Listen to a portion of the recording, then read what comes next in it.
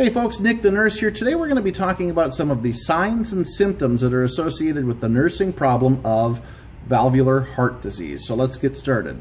When looking at the signs and symptoms of valvular heart disease, some of the things that you want to keep in mind as an astute nursing student who's going to pass your nursing school exams as well as your NCLEX the first time, or if you didn't pass on the on the subsequent time, you want to make sure that you know that a heart murmur is certainly a sign or symptom of valvular heart disease, as is heart failure, orthopnea. Now, what is orthopnea? Again, orthopnea is when you have a, a patient who has difficulty breathing while laying down. Uh, cough, palpitations, decreased cardiac output is also a sign or symptom of valvular heart disease. Fatigue, weakness, angina, dyspnea, as well as peripheral edema. So if you want to know all of the signs and symptoms of valvular heart disease for nursing school exams or the NCLEX, memorize them. Read them over and over again. Make sure that you understand them because they frequently do come up on nursing school exams and might even come up on the NCLEX. So make sure you know them.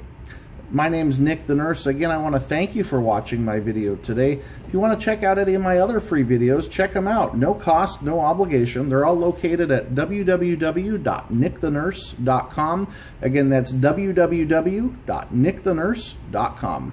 Thanks for watching, and I'll see you next time.